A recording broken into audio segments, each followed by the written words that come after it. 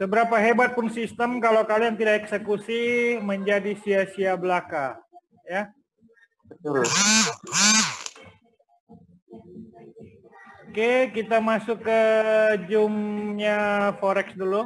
Oke, udah ada yang masuk si tadi saya lagi nunggu si apa nih si Erwin Munandar. Erwin Munandar udah masuk belum?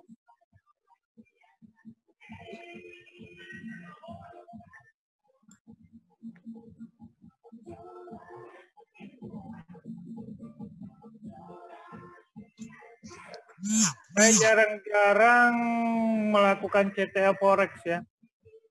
Oke, kita bahas dulu.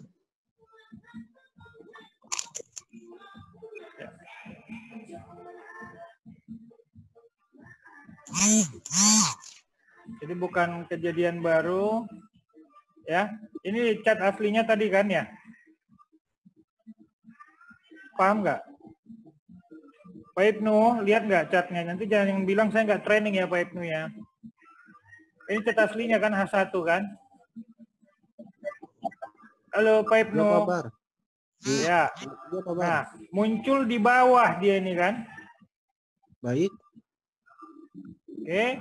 Kemudian saya eksekusi, suruh kalian masuk. Eh, saat itu masih 4 4 pip ya. Kita kelewat 4 pip karena saya baru lihat tadi. Ya. Kemudian saya bikin alat bantu dulu ini. Ya kan? Iya, Pak. Nah, kemudian saya bikin alat bantunya juga dari atas. Sehingga peluang dia untuk naik itu sangat-sangat besar. Ya. Semua target kan saya bilang tadi jam 20 kan? Benar kan? Ada saya state jam 20 pasti tercapai. Nih, kemungkinan besar jam 20 target akan tercapai, ya. Dan dan sekitar 30 pip ya. Baik, Pak. Paham? Paham Pak Ibnu?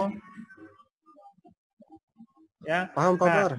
Coba coba buka eh, requestkan di sini H1 SAU. H1 SAU, ayo. Ada yang di grup Forex tolong dibukakan. Ya. Dan dibukakan yang terbarunya requestkan, yuk.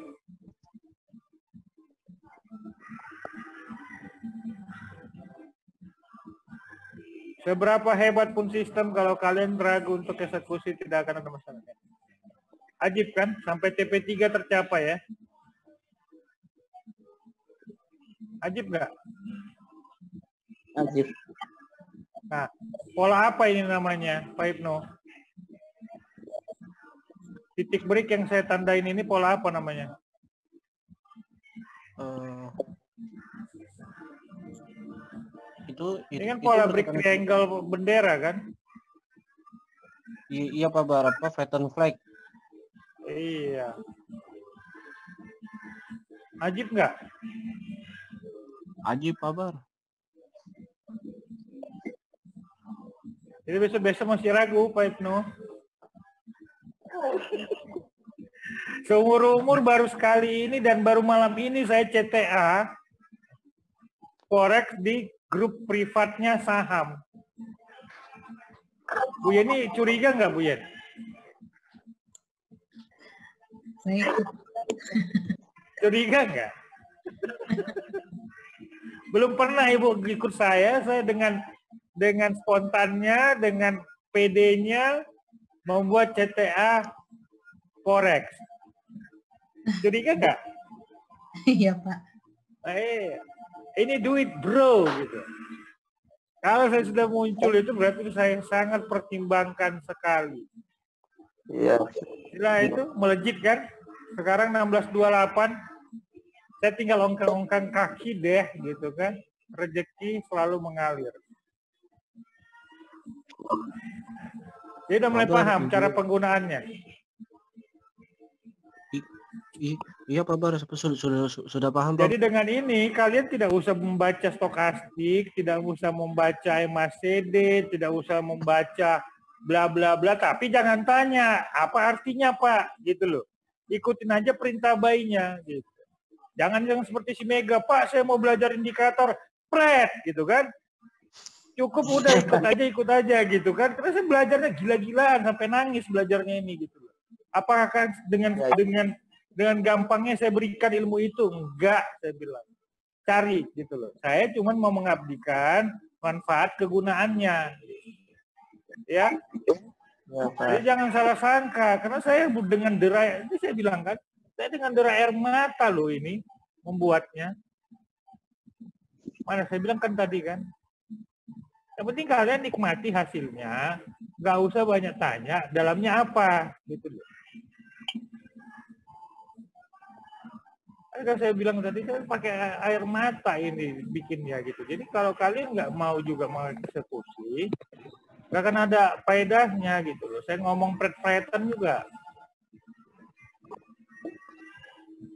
Ya, Baik Pak Bar. tuh, naik terbang terbang tinggi kan flagnya. Wow, gitu kan. Sampai detik ini masih terbang kan ini Pak? Nih, masih terbang kan? Iya Pak. Iya, tapi kau nggak eksekusi. Padahal saya sudah CTA tadi juga kan. Itu itu itu mo- mo- mo- mohon maaf Pak Bar kalau kalau kalau kalau tadi di kalau kalau di kantor nggak sempat buka HP Pak. Iya. Gak apa-apa Apa, lain kali berarti oh cara pandang Pak Bar begini gitu. Ya. Baik Pak Bar. Jadi kalau saji Pak Pak Put- Jadi ini di dalamnya ini sudah ada pattern pembalik, sudah ada Mercedes, sudah ada stokastik. Kalian lihat itu sesederhana itu, tapi itu di dalamnya sudah komplit semua. Baik perlu kalian pandang lagi stokastik, pandang ini itu. Bu Rita masuk nggak Bu Rita?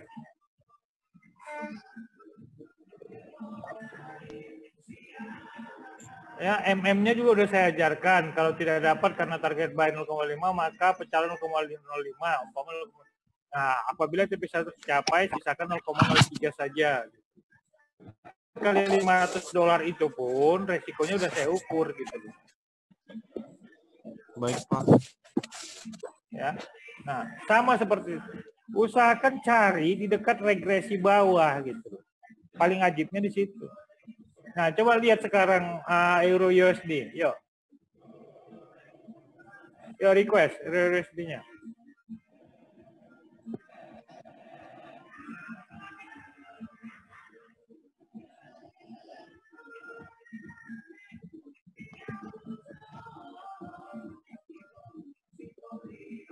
Yang H1.